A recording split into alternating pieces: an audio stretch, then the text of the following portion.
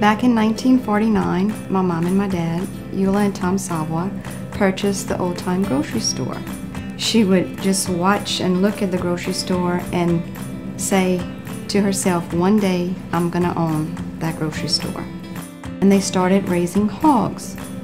Well, by 1955, the price of hogs dropped so low that they weren't making any money on the hogs. So my grandmother suggested to my parents that they butcher the hogs and sell the products. At Savoie's, we have an authentic Cajun heritage which started with my grandmother and is now being carried on by my children. Miss Savoie did a great job of getting everything started and she was so detailed about the flavors that she wanted to bring out in her products. Quality standards were set by Miss Savoie years and years ago. She was really a stickler about that. What we tried to do since then is carry that forward by developing what they call a safe quality food program. In order to do that, you have to become USDA federally certified.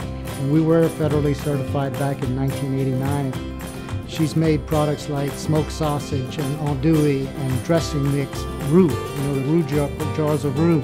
And all those things are ingredients that people can use and make their own at home, making their gumbo, making their jambalaya, making their etouffees.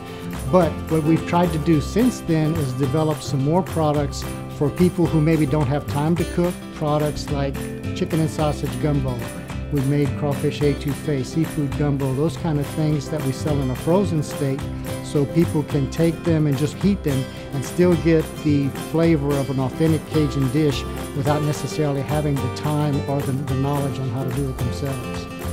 People want variety.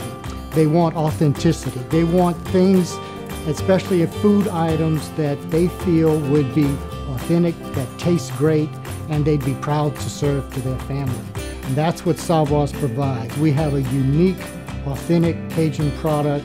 We couldn't be anything else if we wanted to be. It is authentic, it is quality, it is what we do.